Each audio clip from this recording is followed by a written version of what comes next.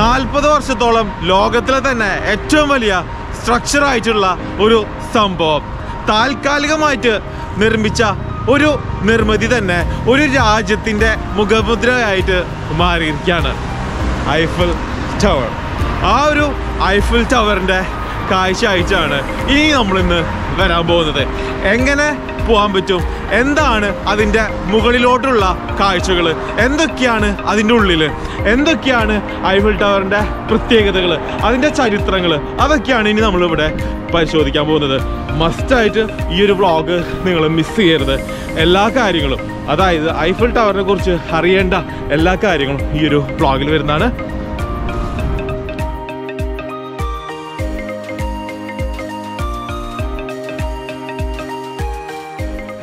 Good morning അപ്പോൾ നമ്മൾ ഇന്നത്തെ യാത്ര തുടങ്ങണത് നിങ്ങൾ വിചാരിക്കുന്നുണ്ടാവും എന്താണ് ഒരു ജാക്കറ്റും അതിന്റെ ഉള്ളിലൊരു ഹുഡിയെന്നൊക്കെ നല്ല തണുപ്പുണ്ട്. ഇപ്പോൾ നമ്മൾ വീട്ടിൽ നിന്ന് ഇറങ്ങി ഐ മീൻ ഹോസ്റ്റലിൽ നിന്ന് രാവിലെ തന്നെ ചെക്കൗട്ട് ചെയ്ത് ആറര ഏഴ് മണിക്കുള്ളിൽ ഭയങ്കര ഇരുട്ടായിരുന്നു. അപ്പോൾ അതുകൊണ്ടാണ് ആ വീഡിയോ എടുക്കാതിരുന്നത്. അങ്ങനെ നേരെ പ്രമിയുടെ വീട്ടിൽ വന്ന് അവിടുന്ന് ഒരു ചായ പിടിച്ച് ദേ പ്രമിയുടെ ഉപ്പാട് കൂടെ ഒരു ഒരു ഹലോ പറഞ്ഞേ. ഹായ് അപ്പൊ ഞാനും പ്രവിടും ഉപ്പയും കൂടിയിട്ട് നമ്മൾ പോണ് മെട്രോ സ്റ്റേഷനിലോട്ട്. ഇവിടുന്ന് മെട്രോ എടുത്തിട്ടാണ് നമ്മളിനി ഐഫിൽ ടവർ കാണാൻ പോകുന്നത്. അപ്പം ഇന്നത്തെ യാത്ര എന്ന് പറയുന്നത് നമ്മൾ ഐഫിൽ ടവർ കാണാൻ പോവാണ്. ഉപ്പ ജോലിക്ക് പോകണം കേട്ടോ. അപ്പം എന്റെ കൂടെ ഞാൻ ഉപ്പാടെ കൂടെ പോണ്. കാരണം എനിക്കൊന്ന് മെട്രോ എങ്ങനെയാണ് പോകേണ്ടതെന്നൊക്കെ ഒന്ന് കാണിച്ചു തരാമെന്ന് വിചാരിച്ചിട്ട്. അപ്പോൾ നമ്മൾ ഐഫിൽ ടവർ മാത്രമല്ല ഐഫിൽ ടവർ കയറി മുകളിൽ വരെ ഉണ്ട് അതിന് ശേഷം നമ്മൾ ലൂവ മ്യൂസിയം പോകുന്നുണ്ട്. എനിക്ക് അവിടെ കാണേണ്ട ഒരു കാര്യം എന്ന് പറയുന്നത് ഫുള്ള് കയറി നടക്കാനുള്ള സമയമില്ല. കാരണം അതൊരു ലോഗാണ് നിങ്ങൾക്ക് ഒരു ദിവസം കൊണ്ടൊന്നും ലൂവ മ്യൂസിയം ഒരിക്കലും കണ്ടു തീർക്കാൻ പറ്റില്ല. നിങ്ങൾ ഇന്നലത്തെ വ്ളോഗിൽ കണ്ടല്ലോ. അതിന്റെ സൈസൊക്കെ എത്രയ്ക്ക് വലുതാന്നുള്ളത്. അപ്പോൾ അത്രയ്ക്ക് കാഴ്ചകളുണ്ട്. അപ്പോൾ എനിക്ക് ആ കാണേണ്ട ആകെ ഒരു കാഴ്ച എന്ന് പറയുന്നത് നമ്മൾ ചെറുപ്പം മുതലേ കണ്ടുപരിചയുള്ള അല്ലെങ്കിൽ കേട്ട് പരിചയമുള്ള ഫോട്ടോയിലൊക്കെ കണ്ടുപരിച്ചുള്ള മൊണാലിസനെ കാണാൻ വേണ്ടിയിട്ടാണ്. അപ്പോൾ അത് ഡേ ടൈമിൽ കാണണം. അല്ലെങ്കിൽ ഇന്നലെ രാത്രി കാണായിരുന്നു.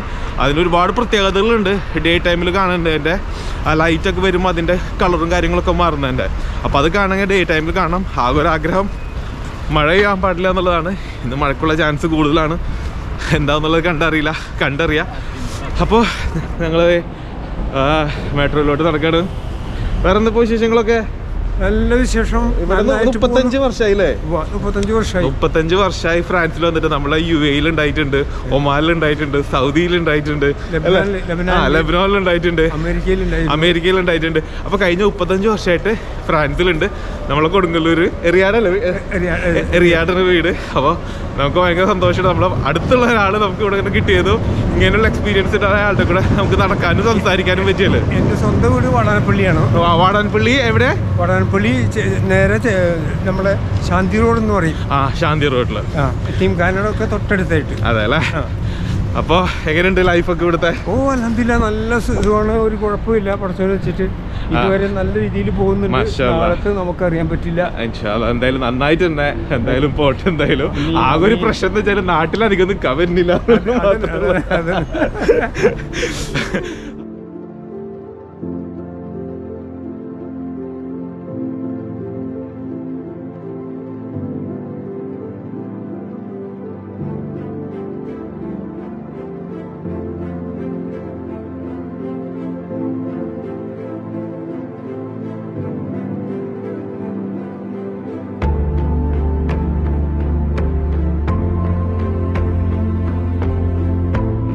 കയ്യിൽ വെക്കല്ലേ? ഒരു എന്തായാലും യാത്രയില്ല. ഇല്ല. അപ്പൊ ശരിക്കും ഈ ഒരു മണിക്കൂറിനുള്ളിൽ എനിക്കിപ്പോ ട്രെയിനിലോ മെട്രോയിലോ ബസ്സിലോ ഒക്കെ ഇത് വെച്ച് യാത്ര ചെയ്യാം. ആ ഒരു പ്രാവശ്യം ഒരു പ്രാവശ്യം യൂസ് ചെയ്ത് കഴിഞ്ഞാൽ ഒരു മണിക്കൂറിനുള്ളിൽ നമുക്ക് എവിടെ വേണമെങ്കിലും യൂസ് ചെയ്യാം. ആ ഓക്കെ. അപ്പോൾ ഇറങ്ങുമ്പോൾ ചില തന്നെ ഇതേപോലത്തെ ചില ഫുഡുകളൊക്കെ നമുക്ക് മേടിക്കാൻ പറ്റും. Eiffel tower. മൂടി നിൽക്കുകയാണ് ശരിക്കും പറയുകയാണെങ്കിൽ മഞ്ഞിൽ ശരിക്കും വെയിൽ തീരില്ല. വെയിലുണ്ടാവുമെന്ന് വിചാരിക്കാം നമുക്ക്. വെയിലില്ലാന്നുണ്ടെന്നുണ്ടെങ്കിൽ ഐഫൽ ടവർ ശരിക്കും കാണാൻ തന്നെ ഒരു ഭംഗി ഉണ്ടാവില്ല.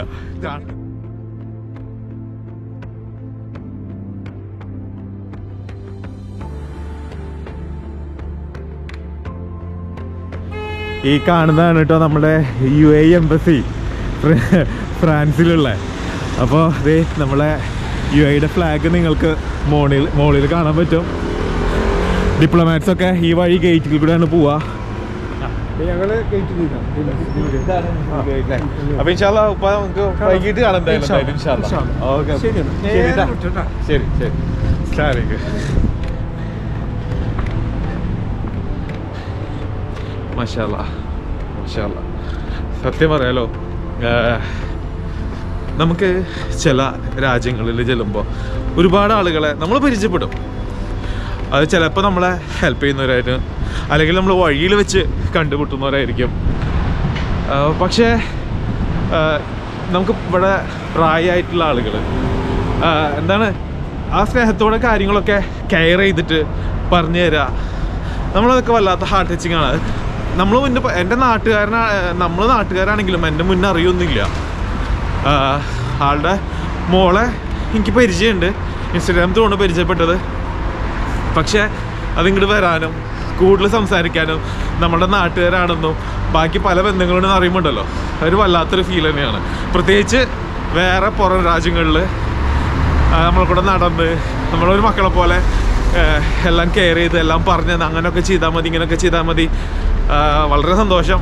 എന്തായാലും നമ്മുടെ യാത്ര ഇവിടുന്ന് തുടങ്ങാണ് ഹൈഫിൾ ടവർ ഞാൻ എടുത്തിട്ടുള്ളത് ഓൺലൈനിൽ നിന്നാണ് ബുക്ക് ചെയ്തത്. അതിനെക്കുറിച്ച് ജസ്റ്റ് ഒന്ന് പറഞ്ഞുതരാം. ഓൺലൈനിൽ നിന്നാണ് ഞാൻ ബുക്ക് ചെയ്തത്. ഞാൻ ബുക്ക് ചെയ്തിട്ട് ഏകദേശം മൂന്നാഴ്ചക്ക് മുന്നാണ് ഞാൻ ബുക്ക് ചെയ്തത്. നിങ്ങൾക്ക് ഏത് വെബ്സൈറ്റിൽ വേണമെങ്കിലും ബുക്ക് ചെയ്യാം ഞാൻ ടൂർ ഗൈഡ് ഉള്ളതാണ് ഞാൻ ബുക്ക് ചെയ്തിട്ടുള്ളത്. അപ്പോൾ കുറച്ചും കൂടി നമുക്ക് അറിയാൻ പറ്റും. എന്താണെന്നുള്ളത്? വെറുതെ ഐഫിൽ ടവറിന്റെ ഫ്രണ്ടിൽ വന്ന് ഫോട്ടോ എടുത്ത് പോയതുകൊണ്ട് ഐഫിൽ ടവർ കണ്ടുന്നായില്ല. നിങ്ങൾ അങ്ങനെയാണെങ്കിൽ വെറുതെ ഐഫിൽ ടവറിന്റെ ആ ഒരു ഇരുമ്പിന്റെ ഒരു സാധനം മാത്രമേ നിങ്ങൾ കണ്ടിട്ടുള്ളൂ. ഇതെന്റെ പേഴ്സണൽ ആയിട്ടുള്ള അഭിപ്രായമാണ്. അല്ലാതെ ഐഫിൽ ടവർ എന്താണെന്ന് അറിയാതെ അതിന്റെ ചരിത്രം എന്താണെന്ന് അറിയാതെ ഹൈഫിൽ ടവർ കണ്ടു കഴിഞ്ഞിട്ട് ഒരു കാര്യമില്ല അതിന് പകരം നിങ്ങൾ വീട്ടിലിരുന്ന് ഫോട്ടോ കണ്ടാൽ മതി. അത്രയും ഞാൻ കൂട്ടുന്നുള്ളൂ ആ ഒരു കാര്യത്തിൽ ഐഫിൽ ടവർ എന്താണെന്ന് അറിയുന്നുണ്ടെങ്കിൽ അതിന്റെ ചോട്ടിൽ നിന്ന് ഐഫിൽ ടവർ കണ്ട് ഐഫിൽ ടവറിന്റെ ചരിത്രങ്ങൾ മനസ്സിലാക്കി. അതൊരാൾ ടൂർ ഗൈഡ് വേണമെന്നൊന്നുമില്ല. നമ്മൾ വായിച്ച് മനസ്സിലാക്കിയിട്ട് അത് കാണുമ്പോഴുള്ള ഫീൽ വേറെയാണ്. ഞാൻ എപ്പോഴും പറയാറുണ്ട് എന്റെ യാത്രയിൽ. നമ്മൾ അത് ഞാൻ മാത്രമല്ല ഞാനിത് പഠിച്ചെടുത്ത് നമ്മൾ എസ് ജി കെ സാറ് പറഞ്ഞു കേട്ടിട്ടുണ്ട്. ചരിത്രം അറിഞ്ഞിട്ട് ആ ഒരു മോണ്യുമെന്റ് ആ ഒരു സ്മാരകം കാണുമ്പോൾ ആ ഒരു ഫീൽ നമ്മുടെ ഉള്ളിലുണ്ടാവും. എന്താണെന്നുള്ളത്. അതുകൊണ്ട് നിങ്ങൾ എപ്പോഴും ഏതൊരു സ്ഥലം പോകുന്നുണ്ടെങ്കിലും ഏതൊരു സ്ഥലം കാണുന്നുണ്ടെങ്കിലും അതിന്റെ അറ്റ്ലീസ്റ്റ് ഒരു ബേസിക് ഐഡിയ ഉണ്ടായിട്ട് യാത്ര ചെയ്യുക ആ യാത്ര ചെയ്യുമ്പോൾ ഓരോ സ്ഥലങ്ങൾ കാണുമ്പോഴും നമ്മുടെ മനസ്സിൽ വരും. ആ ഇതതാണല്ലേ ഇതതാണല്ലേ എന്നുള്ളതൊക്കെ. അങ്ങനെ മനസ്സിലാക്കി ചരിത്രം ഇതുപോലുള്ള സംഭവങ്ങൾ കണ്ടു നോക്കിയേ ആ കാണുന്നതിന്റെ ആംഗിൾ തന്നെ മാറിപ്പോവും. അല്ലാന്നുണ്ടെങ്കിൽ നിങ്ങൾ വെറുതെ ആ ഒരു സംഭവം ഇങ്ങനെ ഫ്രണ്ടിൽ നിന്ന് ഇങ്ങനെ കണ്ടു എന്ന് മാത്രമേ ഉള്ളൂ. അതിനെക്കുറിച്ച് ഒന്നും അറിയില്ല. ഇത് കണ്ടിട്ട് നിങ്ങൾ ഇവിടെ വരുമ്പോൾ ഉള്ള ഒരു കാഴ്ച. അല്ലെങ്കിൽ ഇത് കണ്ടോര് ഇത് കേൾക്കുമ്പോൾ ഉണ്ടാവല്ലോ ഓ ഇതായിരുന്നു അല്ലേ ഇതതായിരുന്നല്ലോ എന്നൊക്കെ ഒന്നൊക്കെ ചിന്തിക്കും.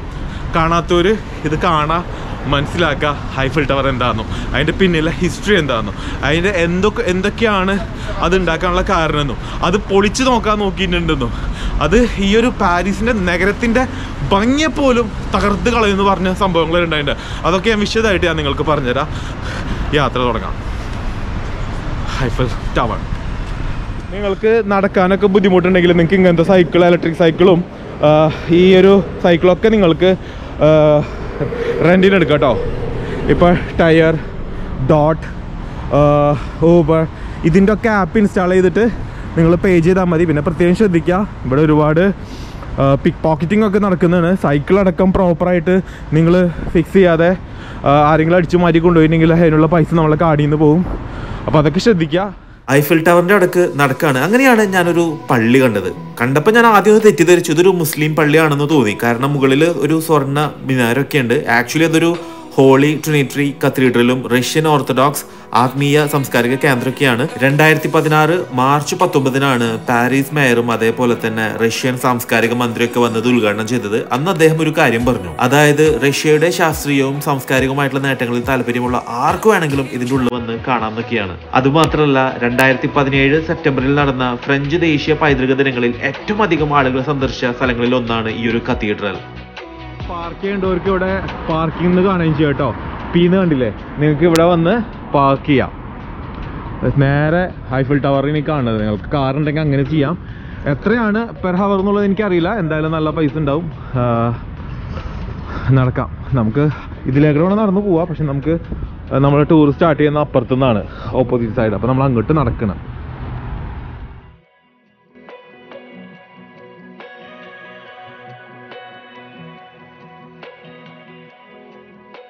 പാരീസ് എന്ന് പറഞ്ഞു കഴിഞ്ഞാൽ നമ്മളുടെ മനസ്സിൽ ആദ്യം ഓടിയെത്തുന്നത് ഐഫിൾ ആണ്. ഈ ഒരു ഐഫിൾ ടവർ കാണുക അതിന്റെ ഫ്രണ്ടിൽ നിന്ന് ഒരു ഫോട്ടോ എടുക്കുക അതിന്റെ മുകളിൽ കയറുക എന്നൊക്കെ പറയുന്നത് ഏതൊരു മനുഷ്യന്റെയും ആഗ്രഹമാണ്. ഐഫിൾ ടവർ ഇല്ലാത്ത ഒരു പാരീസിനെ കുറിച്ച് നിങ്ങൾക്ക് സങ്കല്പിക്കാൻ പറ്റുമോ? ഒരിക്കലും ഇത് തകർത്ത് കളയാൻ വരെ ശ്രമിച്ചിട്ടുണ്ട്. നൂറ്റി മുപ്പത്തി ആറ് വർഷങ്ങളായിട്ട് പാരീസിന്റെ ആകാശത്തിലോട്ട് തലപൊന്തിച്ച് നിൽക്കുന്ന അല്ലെങ്കിൽ മാനം മുട്ടേ നിൽക്കുന്ന ഐഫിൽ ടവറിന്റെ താഴെയിലോട്ടും അതിന്റെ മുകളിലോട്ടുമാണ് ഇനി നമ്മൾ പോവാൻ പോകുന്നത്.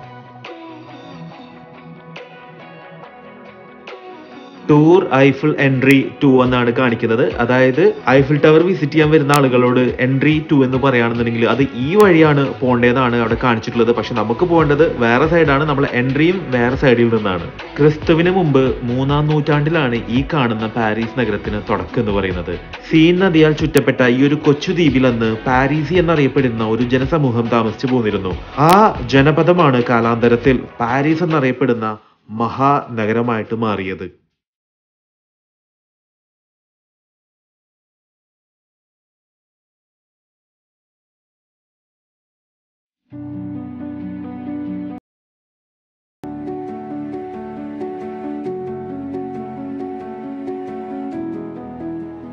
ഐഫിൽ ടവറിന്റെ ബാക്ക്ഗ്രൗണ്ട് ആക്കി നിന്ന് എല്ലാവരും വന്ന് ഫോട്ടോ എടുക്കുന്ന ഒരു സ്ഥലമാണ് ഈ കാണുന്നത്. ഞാൻ കഴിഞ്ഞ വ്ളോഗിൽ ഇതിന്റെ ആക്ച്വൽ ലൊക്കേഷൻ കാര്യങ്ങളൊക്കെ എഴുതി കാണിച്ചിട്ടൊക്കെ ഉണ്ടായിരുന്നു. ഇവിടെ വന്നിട്ടാണ് രാവിലെ എല്ലാവരും ഫോട്ടോസ് എടുക്കുന്നത്. അവരവരുടേതായിട്ടുള്ള ഫോട്ടോഗ്രാഫറെ കൊണ്ടുവരിക കല്യാണത്തിന്റെ ഫോട്ടോസ് എടുക്കുക അവരുടേതായിട്ടുള്ള സ്പെഷ്യൽ മൊമെന്റ്സിൽ വന്ന് ഫോട്ടോസ് എടുക്കുക ടൂറിസ്റ്റുകൾ വന്ന് ഫോട്ടോസ് എടുക്കുക നമ്മുടെ ജീൻസ് എന്ന മൂവിയിലെ ഐശ്വര്യ ഒക്കെ ഡാൻസ് ചെയ്ത ഈ ഒരു സ്ഥലത്ത് വന്നാണ് നമ്മളും വീഡിയോ എടുക്കുന്നത് ഞാനിവിടെ വന്നത് ഈ ഒരു സ്ഥലം കാണാനും പിന്നെ നമ്മുടെ ടൂർ ഗൈഡ് ഇവിടെ നിൽക്കാനാണ് എന്റെ അടുത്ത് പറഞ്ഞിട്ടുണ്ടായിരുന്നത് അങ്ങനെ അവസാനം ആളെ കണ്ടെത്തി hello hi how are you yeah have a tour today? Yes. Eiffel Tower. Yeah Are you okay? May I have your booking name, please? Okay, I already checked you in. so you have around like 10 minutes. No problem, I'll wait here. I'm here. Yeah, you can take a picture. Like... no problem, I'll wait Are here. doing a vlog? Yeah. Oh, okay. Hello, hi, good morning. Hello. How are you? I'm fine, and you? Great. How much for this? One million. One million, one yeah. Million, one million, camera, one million. uh, Where are you from? Uh, I'm from Dubai. Wallah. Uh,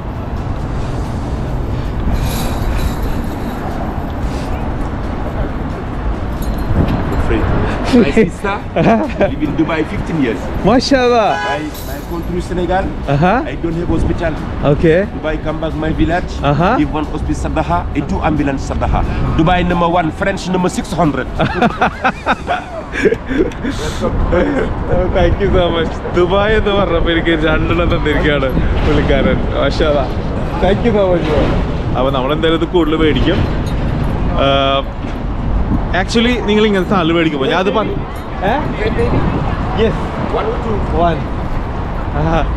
actually നമ്മൾ ഇവിടെ വരുമ്പോൾ ഇങ്ങനെയുള്ള ആൾക്കാരെ ഒന്ന് മേടിക്കുമ്പോൾ നമുക്ക് ഭയങ്കര ലാഭമാണ് actually can you tell me what is the price actually?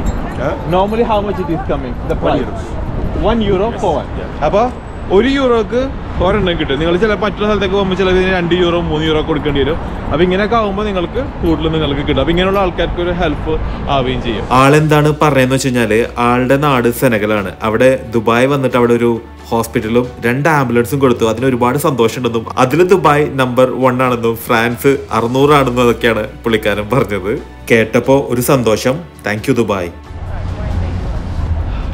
അപ്പോൾ നമുക്ക് നമുക്ക് കയറാനുള്ള ടിക്കറ്റ് തന്നിട്ടുണ്ട്. അപ്പോൾ നല്ല തണുപ്പുണ്ട്. നമുക്ക് പനിയൊന്നും പിടിക്കണ്ട. അപ്പോൾ നമ്മളുടെ ട്രിപ്പ് സ്റ്റാർട്ട് ചെയ്ത് കേട്ടാ കുറച്ച് പേരുണ്ട്. ഒരു നൈജീരിയക്കാരത്തിയാണ് നമ്മളുടെ ഗൈഡ് പുള്ളിക്കാരത്തിൽ കൂടെയാണ് പോകുന്നത്. കാരണം നമുക്കപ്പോൾ എല്ലാം മനസ്സിലാവും. വെറുതെ കണ്ടുപോകലല്ലാതെ. അപ്പോൾ ഇതാണ് നമ്മളുടെ ടീം ഇതാണ് പുള്ളിക്കാരത്തി. അപ്പോൾ നമ്മൾ വന്ന വഴി വീണ്ടും നടക്കാണ് ഫ്രണ്ടിലോട്ട് ഇനി കയറാനായിട്ട് ടിക്കറ്റൊക്കെ നമ്മളുടെ കയ്യിൽ തന്നിട്ടുണ്ട്. അപ്പം നടക്കാട്ടോ. ഇന്ന് ഐഫിൽ ടവറിനേക്കാളും ഉയരമുള്ള ഒരുപാട് ടവറുകൾ ലോകത്തെ പല ഭാഗത്തുമായിട്ടുണ്ട്. പക്ഷേ ഇന്നും മനുഷ്യന്റെ മനസ്സിൽ ടവർ എന്ന് പറയുകയാണെങ്കിൽ ഐഫിൽ ടവർ തന്നെയാണ്. പോകുന്ന വഴിക്ക് ഐഫിൽ ടവറിന്റെ ഓരോ കാര്യങ്ങളും വിശദീകരിച്ച് തന്നിട്ടാണ് നമ്മൾ അങ്ങോട്ട് കൊണ്ടുപോകുന്നത് തന്നെ. ഓരോ സ്ഥലം എത്തുമ്പോഴും ഞാൻ നിങ്ങൾക്ക് അത് വിശദമായിട്ട് കാണിച്ചും പറഞ്ഞു തരുന്നതാണ്. പുള്ളിക്കാരി അവിടെ നമുക്കൊരു കാര്യം കാണിച്ചു തന്നു. ഐഫിൽ ടവർ ഡിസൈൻ ചെയ്യുന്ന കാലത്തുണ്ടായിരുന്ന സയന്റിസ്റ്റുകൾ എഞ്ചിനീയേഴ്സ് മാത്തമെറ്റീഷ്യൻസ് ആർക്കിടെക്ട്സ് അങ്ങനെ എല്ലാവരുടെ പേരും അതിന്റെ ചുറ്റും ഇങ്ങനെ എഴുതി വെച്ചിട്ടുണ്ട്. നിങ്ങൾക്കത് കാണാൻ പറ്റുമല്ലോ? ഒരു സൈഡിൽ പതിനെട്ട് പേര് അതായത് നാല് സൈഡിലും കൂടിയിട്ടും പതിനെട്ട് പതിനെട്ട് പതിനെട്ട് പതിനെട്ട് പേരുടെ പേരൊക്കെ അവിടെ ഇങ്ങനെ എഴുതി വെച്ചിട്ടുണ്ട്. അതും ആ ഒരു സ്വർണ ലിപിയാലായിട്ട് അകലെ നിന്ന് നോക്കുമ്പോൾ നമുക്ക് അതിന്റെ യഥാർത്ഥമായിട്ടുള്ള ഒരു വലുപ്പം നമുക്ക് മനസ്സിലായി എന്ന് വരില്ല. പക്ഷെ അതിന്റെ മുന്നിൽ വെച്ച് അല്ലെങ്കിൽ താഴെ നിന്ന് നമ്മൾ മുകളിലോട്ട് നോക്കുമ്പോഴാണ് അതിന്റെ വലുപ്പം നമുക്ക് ഒരു യഥാർത്ഥ രീതിയിൽ മനസ്സിലാക്കാൻ പറ്റുന്നത്. എന്തായാലും നമ്മൾ അങ്ങോട്ടാണ് ഇനി നടക്കാൻ പോകുന്നത്. നമ്മളെ ഉള്ളിൽ കയറാൻ പോവാണ്. ഞാൻ വളരെയധികം എക്സൈറ്റഡ് ആയിരുന്നു. കാരണം നമുക്ക് അങ്ങനെ ഒന്നും ഒരു വീഡിയോയിൽ നമുക്ക് കാണാൻ പറ്റുന്നില്ല. ഉള്ളിൽ എങ്ങനെയാണ്? ഉള്ളിൽ കയറി പോകുന്നുള്ള കാഴ്ചകളൊക്കെ എങ്ങനെയാണെന്നുള്ളത്. നമ്മൾ നേരത്തെ കണ്ട ഒരു എൻട്രി ഉണ്ടല്ലോ. അത് എൻട്രി ടു ആയിരുന്നു. ഇപ്പൊ നമ്മൾ എൻട്രി വൺ മുഖേനയാണ് നമ്മൾ ഉള്ളിലോട്ട് കയറാൻ പോകുന്നത്.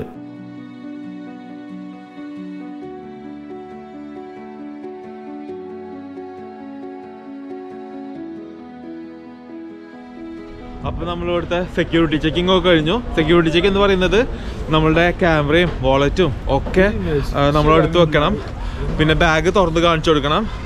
അത് കുഴപ്പമില്ല. ജസ്റ്റ് അവർ നമുക്ക് സമയം തരും ഇതൊക്കെ ചെയ്യാനായിട്ട്. നോർമലി എയർപോർട്ടിൽ കാണുന്ന പോലത്തെ സെക്യൂരിറ്റി ചെക്കിങ് എന്നിട്ട് പുറത്തിറങ്ങാം. നമ്മളിത് അതിന്റെ ഏറ്റവും താഴെ തന്നെ ഉണ്ട് ആ ഒരു പ്രശ്നം എന്ന് വെച്ചാൽ ഫോഗ് നിറഞ്ഞിരിക്കുകയാണ്. ഇപ്പോൾ അവിടെ നിങ്ങൾക്ക് അവിടെ നെറ്റ് കാണുന്നില്ലേ? എന്തുകൊണ്ടാണ് ആ നെറ്റ് എന്ന് വെച്ച് കഴിഞ്ഞാൽ ഇത് പെയിന്റ് അടിക്കുന്നുണ്ട്? അതായത് റീപെയിന്റ് ചെയ്യുന്നുണ്ട്. അതായത് ഐഫിൽ ടവർ പത്തൊമ്പതാം നൂറ്റാണ്ടിൽ ഉണ്ടാക്കിയതിന് ശേഷം ഇപ്പോൾ ഇരുപതാമത്തെ പ്രാവശ്യമാണ് ഇത് റീപെയിന്റ് ചെയ്യുന്നത്. പുള്ളിക്കാരി എന്താ പറഞ്ഞതെന്ന് വെച്ച് കഴിഞ്ഞാൽ ഈ ഒരു ഐഫിൾ ടവർ എല്ലാ ഏഴ് വർഷം കൂടുമ്പോൾ പെയിന്റ് അടിക്കും. ആ പെയിന്റ് അടിക്കുക എന്താണെന്ന് വെച്ച് കഴിഞ്ഞാൽ ആ, മൂന്ന് വർഷം എടുക്കും പോലും ഈ ഒരു പെയിന്റ് അടി തീരാനായിട്ട്. ഇങ്ങനെ എത്ര പെയിന്റേഴ്സ് എന്നറിയാം? പെയിന്റ് അടിക്കുക ഇരുപത്തഞ്ച് പെയിന്റേഴ്സ് ആണ് മൊത്തത്തിൽ ഉണ്ടാവുക. ആ ഇരുപത്തഞ്ച് പേരും മൂന്ന് വർഷവും കൂടെ ഉണ്ടാവും പെയിന്റ് അടിക്കാനായിട്ട്. എന്നാൽ തീരാനായിട്ട് മൂന്ന് വർഷം എവറി ഏഴ് വർഷം കൂടുമ്പോൾ പെയിന്റ് അടിക്കുകയും ചെയ്യും. ഗംഭീരം. ഉള്ളിൽ കയറണ്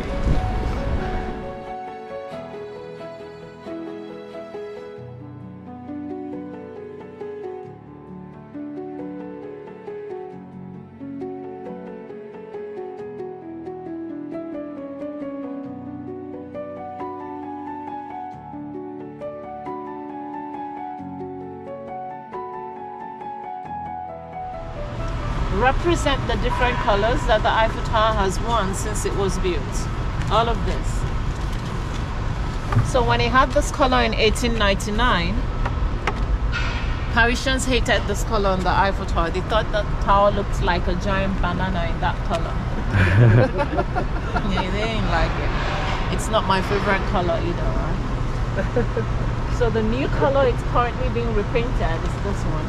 It's called yeah, it's called jaune yellowish brown in English. All right. The repainting started last year, 2021. It should be completed next year, three years, and that will be right on time for the Olympics Games that Paris will be hosting in 2024. ആയിരത്തി എണ്ണൂറ്റി എൺപത്തി ഒമ്പത് മുതൽ രണ്ടായിരത്തി ഇരുപത്തൊന്ന് വരെ എട്ട് പ്രാവശ്യമാണ് ഇതിന്റെ കളർ മാറ്റിയിട്ടുള്ളത്. ഇപ്പോ രണ്ടായിരത്തി ഇരുപത്തൊന്നിൽ പെയിന്റ് അടി സ്റ്റാർട്ട് ചെയ്തിട്ട് ഇനി രണ്ടായിരത്തി ഇരുപത്തി മൂന്നിലാണ് കഴിയുന്നത്. രണ്ടായിരത്തി ഇരുപത്തിനാലിൽ പാരീസിൽ വെച്ച് നടക്കുന്ന ഒളിമ്പിക്സിന്റെ ഭാഗമായിട്ടാണ് ഈ ഒരു പെയിന്റ് അടിക്കുന്നതൊക്കെ. ഐഫിൽ ടവറിന്റെ തൊട്ട് താഴെയാണ് നമ്മൾ നടന്നെത്തിയിരിക്കുന്നത്. അകലെ നിന്ന് കാണുന്ന പോലെയല്ല അതിന്റെ നേരെ താഴെ നിന്ന് നമ്മൾ മുകളിലോട്ട് നോക്കുമ്പോൾ ഒരു കാഴ്ച എന്ന് പറയുന്നത്. അത് വല്ലാത്തൊരു കാഴ്ച തന്നെയാണ്. വല്ലാത്തൊരു ഫീലിങ്ങും കുറേ നേരം കാര്യങ്ങൾ നമുക്ക് പറഞ്ഞെന്ന് അതൊക്കെ ഞാൻ നിങ്ങൾക്ക് വഴിയേ പറഞ്ഞുതരാം. എനിക്ക് തണുത്തിട്ടേ ഇരിക്കാൻ പറ്റില്ല. ഭയങ്കര കാറ്റും. ആ മൂക്കിൽ നിന്നൊക്കെ വെള്ളം വന്നിട്ട്.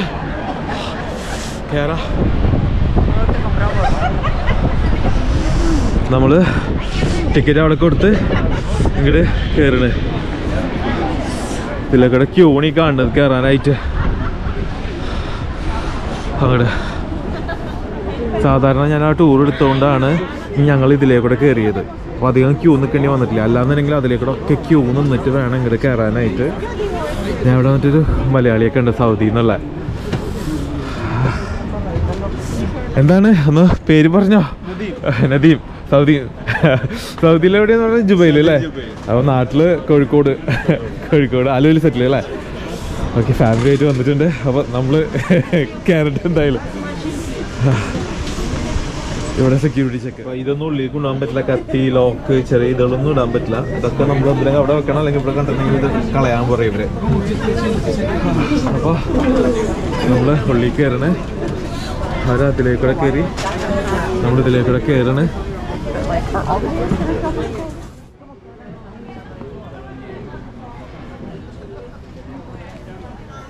ഇവിടെ ഒന്നുകൂടി നമ്മളെ ടിക്കറ്റ് ഇവിടെ സ്കാൻ ചെയ്യവര്. സ്കാൻ ചെയ്തിട്ട് നമ്മൾ ഇതിലൂടെ ലിഫ്റ്റിലേക്ക് കയറി പോവാ. അല്ലാത്തവർക്ക് ഇതിലേക്കൂടെ മുകളിലോട്ട് കയറി നടന്നു പോവാം. ഇങ്ങനെ കയറി നടന്നു പോകുന്നതിന് പത്ത് യൂറോ കുറവാണ്. നമ്മൾ ലിഫ്റ്റിൽ കയറി പോവാണ് ചെയ്യുന്നത്. അപ്പോൾ നമ്മളിനി കയറാൻ പോവാണ്. ലിഫ്റ്റിൽ ഇതിന്റെ ഉള്ളിൽ കയറിയപ്പോൾ കുറച്ച് തണുപ്പിനൊരു സമാനം കിട്ടിയത്. കൈയൊക്കെ വിറങ്ങടിച്ചിട്ട് നല്ല തണുപ്പുണ്ട്. എത്ര പെട്ടെന്ന് ഓടി ഉള്ളിൽ കയറിയിട്ട് നമുക്ക് കാണാൻ പറ്റുന്ന ഒരു സ്ഥലത്ത് നിന്നാൻ നിൽക്കാൻ പറ്റിയാൽ മതി. അപ്പൊ കൂടുതൽ കാഴ്ചകൾ നമുക്ക് കാണാൻ പറ്റും. അവർ താഴെ വന്നവര് ആദ്യം അപ്പുറത്ത് കൂടെ അവർ ഇറങ്ങിപ്പോകും എന്നിട്ട് നമുക്ക് ഇപ്പുറത്ത് കൂടെ അവർ തുറക്കണം ചെയ്യുന്നത്. അവർ തുറന്നു. താങ്ക് യു അപ്പോൾ നമ്മൾ ഇവിടെ തന്നെ നിന്നു?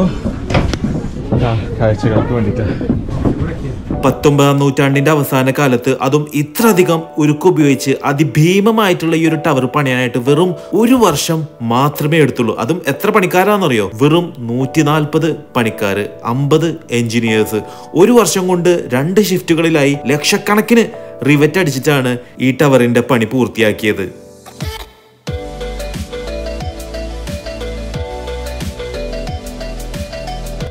എന്നെ അത്ഭുതപ്പെടുത്തിയ വേറൊരു കാര്യം എന്താന്ന് വെച്ച് കഴിഞ്ഞാൽ ഉസ്താദ് ഐഫിൾ എന്ന് പറയുന്ന ഒരു എഞ്ചിനീയർ ഇത് പണിയുന്ന കാലത്ത് അതായത് ഐഫിൾ ടവർ പണിയുന്ന കാലത്ത് ലിഫ്റ്റിനുള്ള സൗകര്യം അന്ന് മുതലേ ഉണ്ടാക്കി വെച്ചിരുന്നു എന്നുള്ളതാണ്. അതായത് പത്തൊമ്പതാം നൂറ്റാണ്ടിന്റെ ആദ്യ കാലത്തൊന്നും ലിഫ്റ്റ് എന്ന് പറയുന്ന ഒരു സംഭവമേ ഇല്ല. പക്ഷേ അതിനുള്ള സൗകര്യം പുള്ളിക്കാരൻ അന്ന് തന്നെ ഈ ഒരു ഐഫിൾ ടവറിൽ ഒരുക്കി വെച്ചിരുന്നു എന്നുള്ളതാണ്. അതാണ് ശരിക്കും ദീർഘവീക്ഷണം അല്ലെങ്കിൽ പ്ലാനിങ് എന്നൊക്കെ പറയുന്നത്. ഉരുക്കിന്റെ ഓരോ ചട്ടക്കൂടുകളും മുകളിലോട്ട് വലിച്ചു കയറ്റിയ ആ ഒരു ടെക്നോളജി ശരിക്കും ഒരു അത്ഭുതം തന്നെയാണ്. മുകളിലോട്ട് ഇങ്ങനെ പോകുമ്പോൾ ഞാനിങ്ങനെ ആലോചിച്ചു. പോവായിരുന്നു. നൂറ്റി മുപ്പത്തഞ്ച് വർഷം മുമ്പ് വെറും നൂറ്റി നാൽപ്പത് പണിക്കാരെ വെച്ച് ഒറ്റക്കൊല്ലം കൊണ്ട് ഇത് പണിയണമെന്നുണ്ടെങ്കിൽ അതിന് ശരിക്കും അത്ഭുതം എന്നല്ലാതെ വേറെ എന്താണ് വിളിക്കേണ്ടത്? ഏഴായിരത്തി മുന്നൂറ് ടൺ ഉരുക്കാണ് ഈ ഒരു ഗോപുരമായിട്ട് രൂപപ്പെട്ടത്. പതിനെട്ടായിരത്തി ഒരുന്നൂറ്റി മുപ്പത്തെട്ട് ഭാഗങ്ങളായി കൊണ്ടുവന്ന് എല്ലാം കൂട്ടിയിണക്കിയിട്ടാണ് ഇത് പണിതതൊക്കെ. വേറൊരു രസകരമായിട്ടുള്ള ഒരു സംഭവം എന്ന് വെച്ചാൽ കൊടും ശൈത്യത്തിൽ അതായത് വിന്ററിലൊക്കെ ആറ് ഇഞ്ച് വരെ ഈ ഒരു ടവർ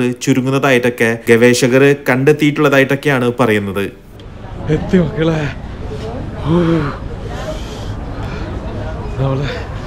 സെക്കൻഡ് ഫ്ലോറിൽ എത്തി കാഴ്ചകൾ കാണിച്ചു തരാം കേട്ടോ നിങ്ങൾക്ക് ത്രീ സിക്സ്റ്റി ഡിഗ്രി ടവറിലെ രണ്ടാം നില എന്ന് പറയുന്നത് രണ്ട് ഒബ്സർവേറ്ററി ഡെസ്ക് ആയിട്ടാണ് ഉള്ളത്. ആ കാണുന്നതാണ് സീൻ നദി. ആ സീൻ നദിയിലൂടെ ഒഴുകി പോകുന്ന ബോട്ടുകൾ നമുക്ക് കാണാൻ പറ്റും. പാലസ് ഡി ചൈലോഡാണ് ആ ഒരു രണ്ട് വിങ്സ് പോലെ നമുക്ക് കാണാൻ പറ്റുന്നത്. അതിനപ്പുറം ക്ലാസിക്കൽ ആയിട്ടുള്ള നഗരഭാഗവും. പിന്നീട് അതിനപ്പുറമാണ് ആധുനികമായിട്ടുള്ള പാരീസ് നഗരങ്ങളൊക്കെ. ഈ റൈറ്റ് സൈഡിൽ കാണുന്നത് കംപ്ലീറ്റ്ലി ഇരുമ്പ് ഗ്രില്ലാണ്. എന്തുകൊണ്ടാണ് ഇങ്ങനെ വെച്ചേക്കണെന്ന് അറിയോ? ഏകദേശം നാനൂറ് പേരാണ് ഇവിടെ നിന്ന് ചാടി ആത്മഹത്യ ചെയ്തതൊക്കെ. പിന്നെ ഒരുപാട് പേര് തൂങ്ങി മരിച്ചിട്ടുമുണ്ട്. ഇത് ഉണ്ടാക്കിയ കാലത്ത് ആത്മഹത്യ ചെയ്യാനായിട്ട് ഒരുപാട് പേര് ഓപ്റ്റ് ചെയ്തിരുന്ന ഒരു സ്ഥലമായിരുന്നു ഐഫിൽ ടവർ ഇവിടെ നിന്ന് നോക്കിക്കഴിഞ്ഞാൽ ത്രീ സിക്സ്റ്റി ആംഗിളിലുള്ള പാരീസിലെ എല്ലാ കാഴ്ചകളും നമുക്ക് കാണാൻ പറ്റും. ആറാം നൂറ്റാണ്ട് വരെ പഴക്കമുള്ള കെട്ടിടങ്ങൾ വരെ അവിടെ ഉണ്ട്. എന്ത് ഭംഗിയായിട്ടാണ് എല്ലാം വെച്ചേക്കണെന്ന് അറിയാം യൂറോപ്യൻ നഗരങ്ങളെല്ലാം ഇതേപോലെ കൃത്യമായിട്ട് ആസൂത്രണം ചെയ്ത് നിർമ്മിച്ചിട്ടുള്ളതാണ്. അലക്സാണ്ടർ ഗുസ്താവ് ഈഫിൾ എന്ന എഞ്ചിനീയറിന്റെ ഭാവനയിൽ രൂപപ്പെട്ടതാണ് ഐഫിൽ ടവർ ഉരുക്കുകൊണ്ടുള്ള കൂറ്റൻ പാലങ്ങൾ നിർമ്മിച്ചിട്ടുള്ള അനുഭവ സമ്പത്തായിരുന്നു ഗുസ്താവ് ഈഫലിന് ഇതിന് പ്രചോദനമായത്. വേറൊരു കാര്യം നിങ്ങൾക്കറിയോ? നിർമ്മാണ സമയത്ത് ഈ ഒരു ഗോപുരം ഏത് സമയത്തും തകർന്നു വീഴാമെന്ന് പാരീസുകാർ ഭയന്നിരുന്നു. അതിനാൽ തന്നെ വലിയ എതിർപ്പുകളാണ് ഐഫലിന് നേരിടേണ്ടി വന്നത്. ഇത് പണിയുന്ന കാലത്തൊക്കെ. അതെ. തണുത്ത കാറ്റ്. നമുക്കൊന്ന് ചായ പിടിച്ച് കഴിഞ്ഞിട്ട് നല്ല വീഡിയോസ് ഇഞ്ഞെടുക്കാം ഒന്നുകൂടി ഒന്ന് പുറത്തേക്ക് ഇറങ്ങാം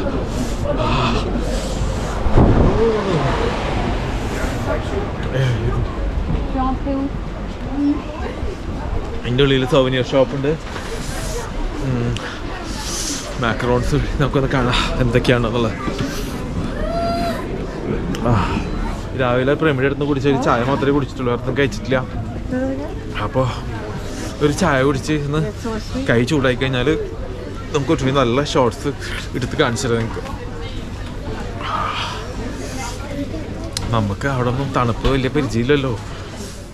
ഇവിടെയും ഇതേപോലെ പേസ്ട്രീസും ഒക്കെയാണ് ഉള്ളത്. അവിടെ പിന്നെ വൈൻ ഉണ്ട്. പിന്നെ അതേപോലെ തന്നെ കോഫി അങ്ങനത്തെ സംഭവങ്ങളൊക്കെ.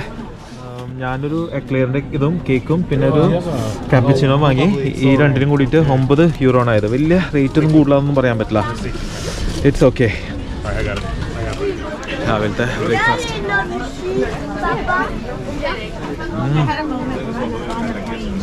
അടിപൊളിയാണ് ഉള്ളിലേക്ക്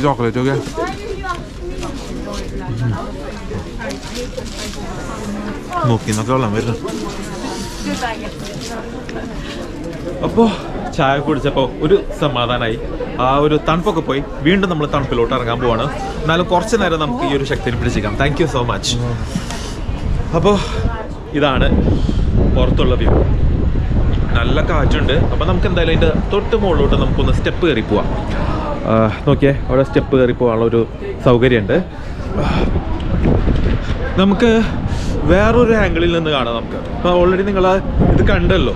നമുക്ക് വേറൊരു ആംഗിൾ വെച്ച് നോക്കിയിട്ട് കാണാം. എന്താണെന്ന് വെച്ചാൽ നമുക്ക് എന്തായാലും ഏറ്റവും മുകളിൽ കയറേണ്ടതാണ്. നമുക്ക് ഏറ്റവും മുകളിൽ നിന്നുള്ള വ്യൂ നോക്കേ. ഓക്കെ അതായിരിക്കും കുറച്ചുകൂടി രസം എനിക്ക് ഫീൽ ചെയ്യണം മുകളിലോട്ട് കയറാം സമ്മറ്റ്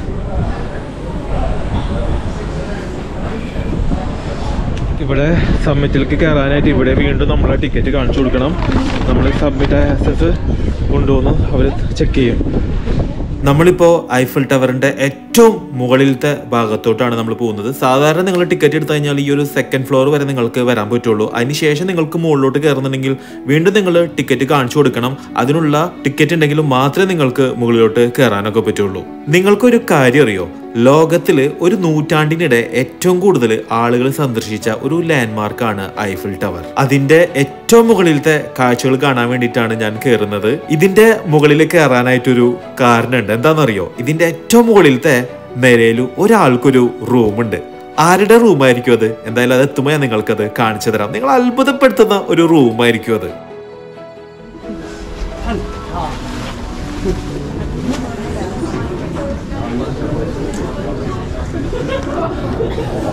ഇതാണ് ഏഫൽ ടവറിന്റെ ഏറ്റവും മുകൾ ഭാഗം. ഇതിനേക്കാളും മുകളിൽ പോകാൻ പറ്റില്ല. അപ്പൊ അവിടെയാണ് വന്നിട്ടുള്ളത്. അവിടെ നമുക്ക് ലോകത്തുള്ള എല്ലാ പൊക്കമുള്ള ടവറിന്റെയും ഡീറ്റെയിൽസ് അവിടെ കൊടുത്തിട്ടുണ്ട്. നമ്മളെ ദുബായിലെ ബുർജ് ഖലീഫയും അബുദാബിയിലത്തെ ടൂർ സ്കൈ ടവറൊക്കെ നമുക്ക് അവിടെ കാണാൻ പറ്റും. ഇത് മാത്രമല്ല ലോകത്തിലുള്ള എല്ലാ ബിൽഡിങ്ങിന്റെയും ഡീറ്റെയിൽസും അതിന്റെ ഹൈറ്റും കാര്യങ്ങളൊക്കെ കൊടുത്തിട്ടുണ്ട്. എന്തായാലും ദുബായിലത്തെ ബുർജ് ഖലീഫയും അബുദാബിയുടെ പേരൊക്കെ പാരീസിലെ ഐഫിൽ ടവറിന്റെ മുകളിൽ കണ്ടപ്പോൾ ചെറുതായിട്ടൊരു സന്തോഷമൊക്കെ തോന്നി. ഇത്ര നേരം എല്ലാവരും കാത്തിരുന്ന ഒരു സംഭവമുണ്ട് ഐഫിൽ ടവർ. ഐഫിൽ ടവറിന്റെ ചരിത്രം എന്താണ്? എന്തിനാണ് ഐഫിൽ ടവർ പാരീസിൽ പണിതത്? അതിനെക്കുറിച്ചിട്ടുള്ള വിശേഷങ്ങളാണ് ഇനി നിങ്ങളെ ഞാൻ കാണിക്കാൻ പോകുന്നത്. കൂടാതെ നമ്മൾ ഇനി പുറത്തിറങ്ങാൻ പോവാണ് ഐഫിൽ ടവറിന്റെ ഏറ്റവും മുകളിലത്തെ ഭാഗത്ത് നിന്നും പുറമേയുള്ള കാഴ്ചകൾ നിങ്ങളെ കാണിക്കാനായിട്ട്. ആയിരത്തി എണ്ണൂറ്റി എൺപത്തി ഒമ്പതിൽ പാരീസിൽ നടക്കുന്ന എക്സ്പോന് ഒരു ഗോപുരം നിർമ്മിക്കാനായിട്ട് ഫ്രഞ്ച് ഗവൺമെന്റ് ഒരു മത്സരം സംഘടിപ്പിച്ചു. അതിൽ എഴുന്നൂറോളം ഡിസൈനുകളാണ് അന്ന് സമർപ്പിക്കപ്പെട്ടത്. അതിൽ നിന്നും ഗുസ്താവ് ഉഫിൽ നൽകിയ ഐഫിൽ ടവറിന്റെ ഡിസൈനാണ് തെരഞ്ഞെടുക്കപ്പെട്ടത്. പിന്നീട് അങ്ങോട്ട് ഒരു ചരിത്രത്തിനാണ് ഫ്രാൻസിലെ പാരീസ് സാക്ഷ്യം വഹിച്ചത്.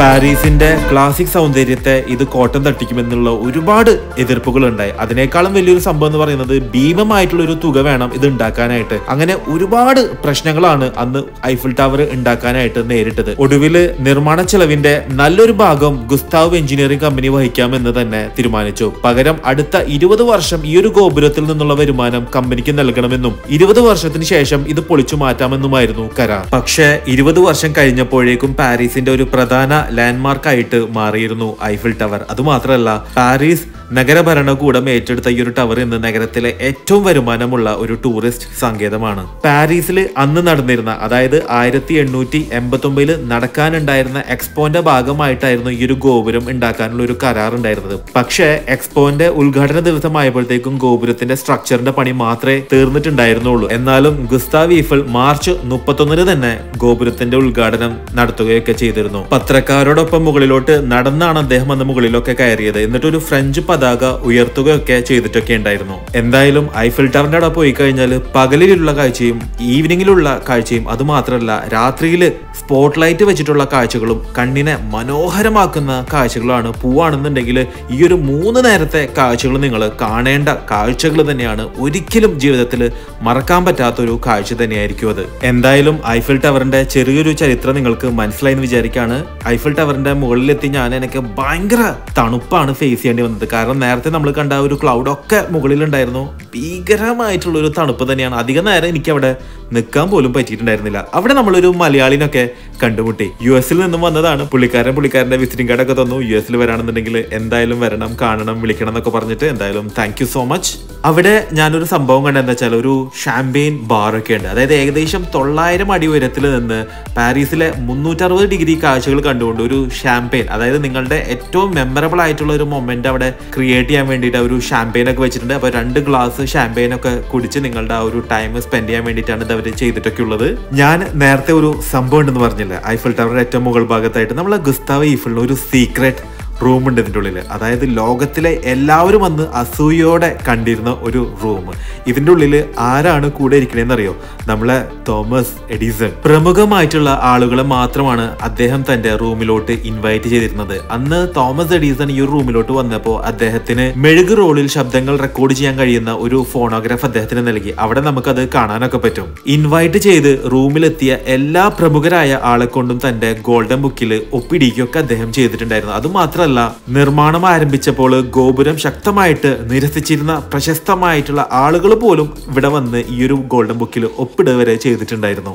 വേറെയും ഒരുപാട് പ്രമുഖര് അവിടെ വന്നിട്ടുണ്ടായിരുന്നു. ആ വന്നവരുടെ ഫോട്ടോയും ഡീറ്റെയിൽസ് ഒക്കെ അവിടെ കൊടുത്തിട്ടുണ്ട്. Republic president Sadi Carnot Wales രാജകുമാരൻ ഭാവി അഡ്വേർട്സ് ഏഴാമനും പോർച്ചുഗലിന്റെ ഭാവി രാജാവായിട്ടുള്ള കാർലോസ് ഗ്രീസിലെ ജോർജ് ഒന്നാമൻ ബെൽജിയത്തിന്റെ ലിയോപോൾ രണ്ടാമൻ രാജാവ് ബഫലോ ബിൽ സാറാ ബെർണർ അങ്ങനെ ഇഷ്ടം പോലെ ആളുകളുടെ ഡീറ്റെയിൽസ് ആണ്. ഇതൊക്കെ നമുക്ക് അവിടെ നടന്ന് കാണാനും വായിക്കാനും ഒക്കെ പറ്റും.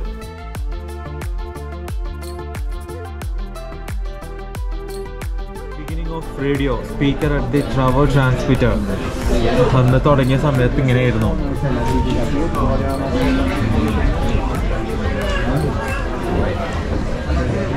അപ്പോൾ നമ്മളിനി ഫസ്റ്റ് ഫ്ലോറിൽ വന്നിരിക്കുകയാണ് ഈ ഫസ്റ്റ് ഫ്ലോറിലാണ് ആക്ച്വലി ഇനി ഗ്ലാസ് ഫ്ലോർ ഉള്ളത്. ഇതാ ഇതാണ് ഗ്ലാസ് ഫ്ലോർ നമുക്ക് നമ്മൾ നിന്ന സ്ഥലങ്ങളൊക്കെ നമുക്ക് ഇങ്ങനെ കാണാം. കണ്ട? ഇവിടെ നമുക്കൊന്നും കാണാൻ പറ്റണില്ല. നമുക്ക് വേറെ സ്ഥലം നോക്കാം. ഇവിടെ ഉണ്ട് കേട്ടോ ഇതേപോലെ സൗനിയസ് ഒക്കെ മേടിക്കാൻ കിട്ടുന്നത്. അതിന്റെ കാണാൻ താഴെ എത്തി ഓക്കെ ഇവിടെ താഴെ ഇറങ്ങണോടത്തും ഉണ്ട് കേട്ടോ ഈ സോവനിയസ് ഒക്കെ മേടിക്കാൻ കിട്ടുന്നത്.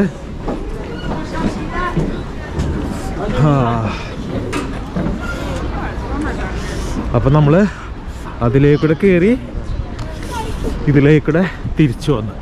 എന്തായാലും നമ്മൾ മുകളിൽ കയറി ഇറങ്ങി വന്നാൽ നമുക്ക് എന്തായാലും ഒന്ന് ടോയ്ലറ്റിൽ പോകാനുണ്ടാവും. കാരണം അത്ര തണുപ്പത്തിനാണ് നമ്മൾ വരുന്നത്. അപ്പോൾ അത് ഇറങ്ങിക്കഴിഞ്ഞ് നേരെ സൈഡിൽ തന്നെ ടോയ്ലറ്റ് ആക്സസ് ഉണ്ട്. ഇങ്ങനെ നടന്നു വന്നിട്ട് ഇത് ഇതിലേക്കൂടെ ഇറങ്ങിപ്പോയി. ഇതിലേക്കൂടെ തന്നെയാണ് പെണ്ണുങ്ങൾക്കും ആണുങ്ങൾക്കും ടോയ്ലറ്റിൽ കേട്ടോ അപ്പോൾ നിങ്ങൾക്ക് ടോയ്ലറ്റിൽ പോകാനൊന്നും ബുദ്ധിമുട്ടൊന്നുമില്ല. അപ്പോൾ നമ്മൾ ഈഫൽ ടവറിനോട് വിട പറഞ്ഞ് നമ്മൾ ഇവിടുന്ന് യാത്രയാവാണ് അടുത്ത സ്ഥലത്തോട്ട്. അപ്പോൾ ബൈ